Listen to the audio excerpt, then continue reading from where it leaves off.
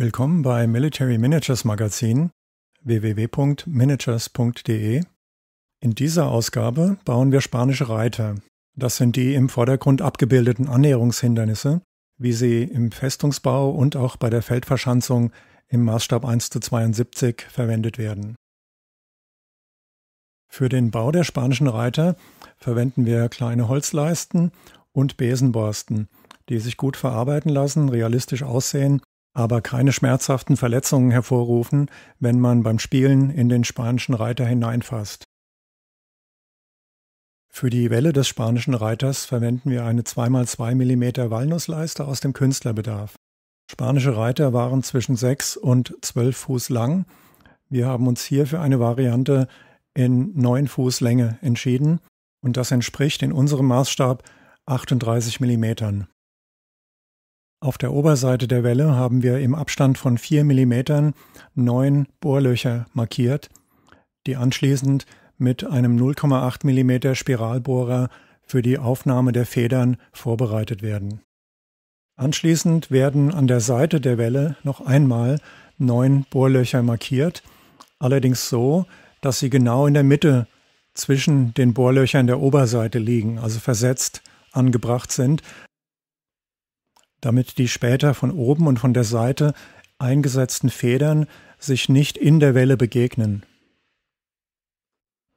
Die Bohrlöcher sollten möglichst mittig gesetzt werden. Leichte Abweichungen können dabei durchaus vorkommen und das sieht nachher gar nicht störend aus. Nachdem die 18 Löcher gebohrt sind, glätten wir die Welle mit einer Schlüsselfeile oder mit etwas feinem Schmirgelpapier.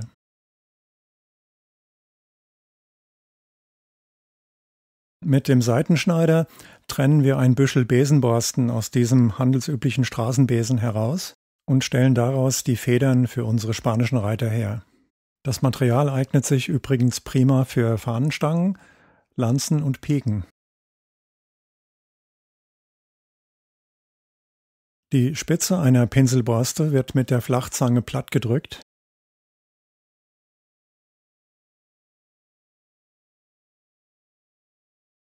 und dann mit der Schere in eine Speerspitze verwandelt.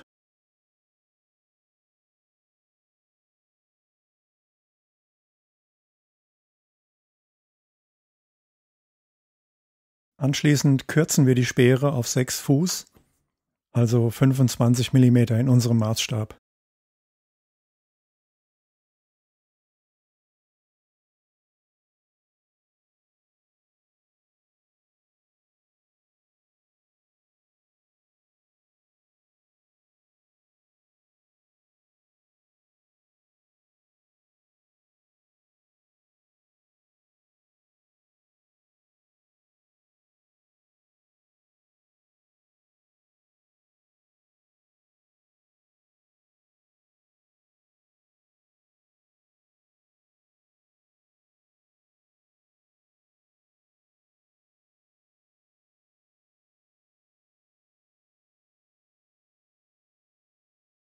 Nun kann der Zusammenbau beginnen, indem in jedes der 18 Löcher unserer Welle eine Feder eingesetzt wird.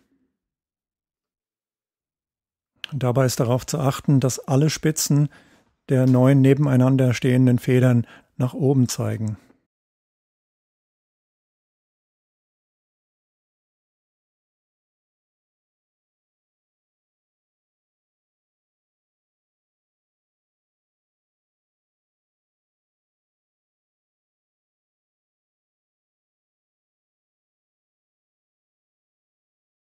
Beim Einsetzen der Borsten ist eine Flachzange hilfreich, weil man präziser arbeiten und mehr Kraft ausüben kann, ohne dass die Borsten sich dabei verbiegen.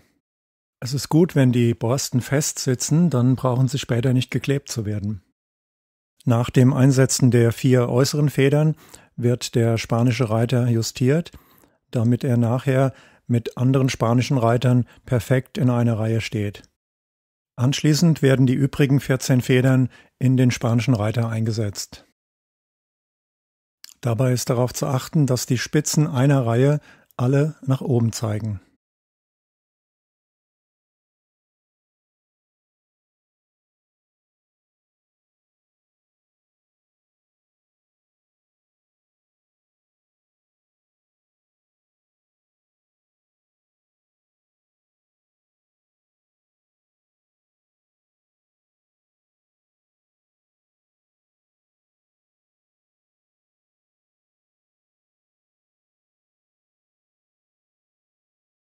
Falls eine Feder überhaupt nicht passt, kann noch einmal nachgebohrt werden.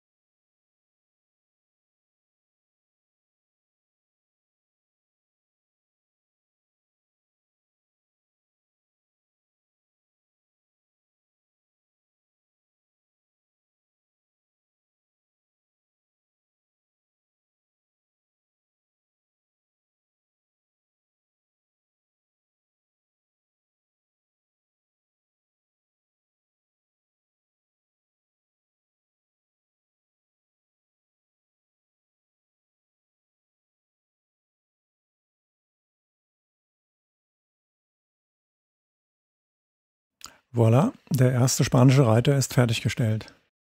Zum Schluss werden die Federn der spanischen Reiter Holz- oder Eisenfarben bemalt. Wir haben uns hier für die Acrylfarbe Neutral Grau von Primacryl entschieden, die ohne Grundierung direkt aufgetragen werden kann. Mit dem Flachpinsel geht das relativ schnell und einfach, denn wir wollen nur die Federn bemalen, das schöne dunkle Nussholz aber unbehandelt lassen.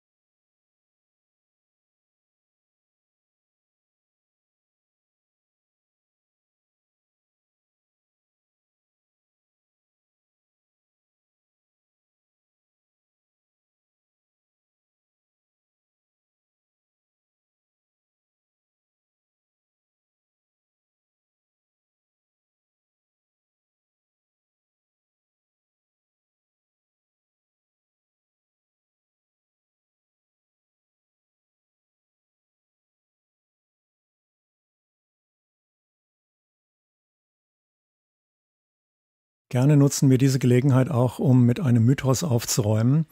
Es wird ja häufig behauptet, man könne weiche Kunststoffe, zum Beispiel Airfix-Figuren und andere Weichplastikfiguren, nicht bemalen, weil die Farbe abplatze. Also bemalen wir diese Pinselborste einmal als Fahnenstange in der Farbe neutral grau, wohlgemerkt ohne Grundierung und sonstige Vorbereitung und lassen sie eine Weile trocknen.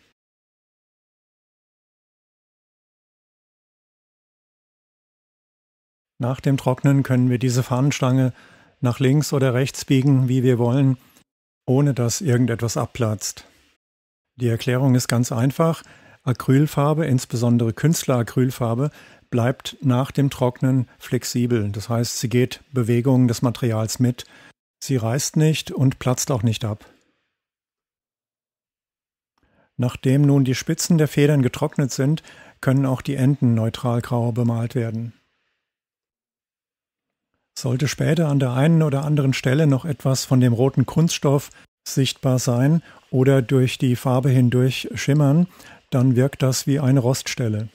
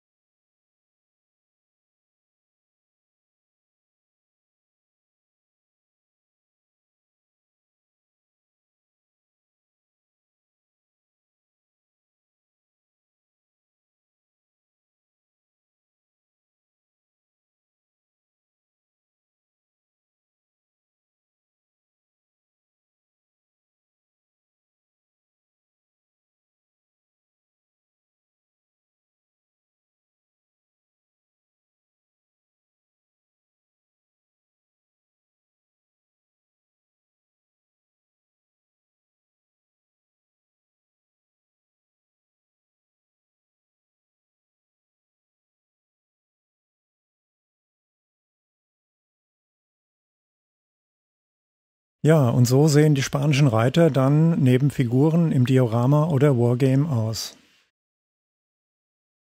Vielen Dank für Ihre Aufmerksamkeit und vielleicht auf Wiederhören beim nächsten Tutorial.